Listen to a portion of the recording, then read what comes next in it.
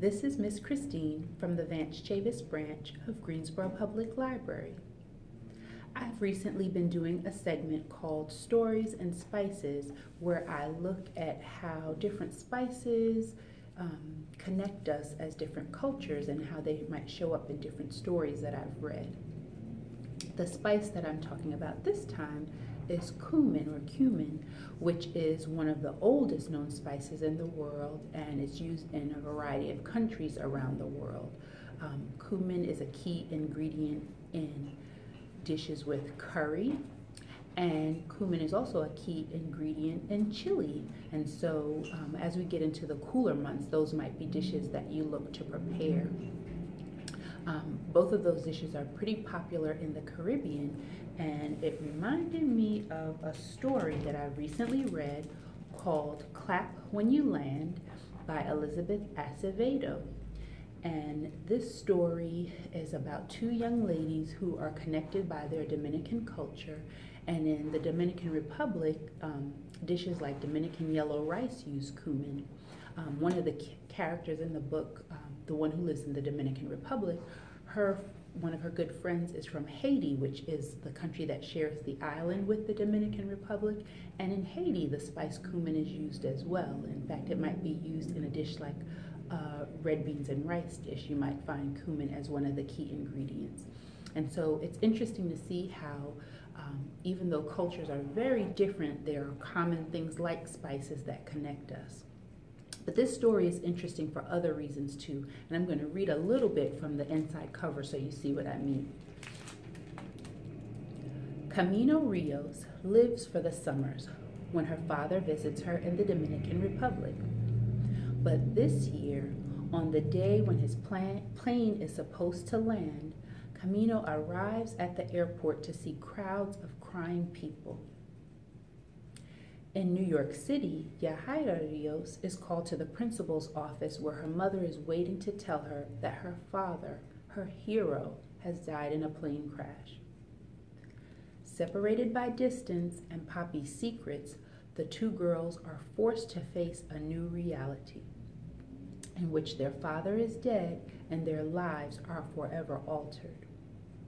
And then, when it seems like they've lost everything, they learn of each other.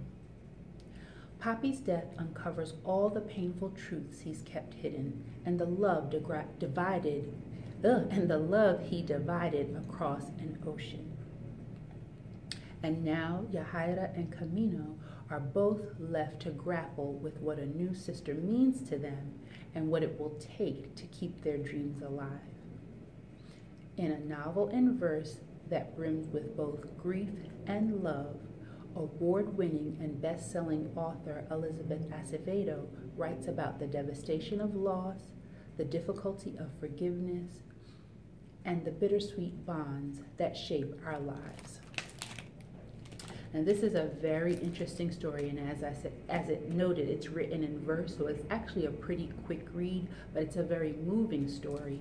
And this story reminds me of another story that I've recently read um, called Silver Sparrow. This book is by Tayari Jones and it's published by Algonquin Books.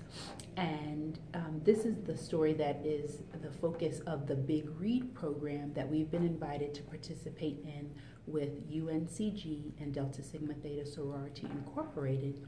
And I'm going to read from the uh, description of the book so you see what it has in common with Clap When You Land. With the opening line of Silver Sparrow, my father, James Witherspoon, is a bigamist. Author Tayari Jones unveils a breathtaking story about a man's deception, a family's complicity, and the two teenage girls caught in the middle. Set in Atlanta in the 1980s, the novel revolves around James Witherspoon's two families, the public one and the secret one. When the daughters from each family meet and form a friendship, only one of them knows they are sisters. It is a relationship destined to explode. This is a stunning novel from an author the Atlanta Journal Constitution deemed one of the most important writers of her generation. And so you see, Clap When You Land by Elizabeth Acevedo and Silver Sparrow by Tayari Jones are both about teenage girls who didn't realize they were sisters but find out that they are, and all of the emotional uh, roller coasters that they each go on as they learn about these truths. And so these are very compelling books that I encourage you to read. They're available as uh, paper books, as ebooks or audiobooks. You can check them out with your Greensboro Public Library card, or if you are a Guilford County school student, you can use your student ID or lunch number, just type in the letters GCS in front of it and as far as the book Silver Sparrow, please keep an eye out for the different events that we have coming up related to the book and the Big Read program. There are book discussions and panel discussions. Many of them you can register for via Zoom. Please check our website and our different social media pages to learn more. Thank you so much for tuning in. Have a great day.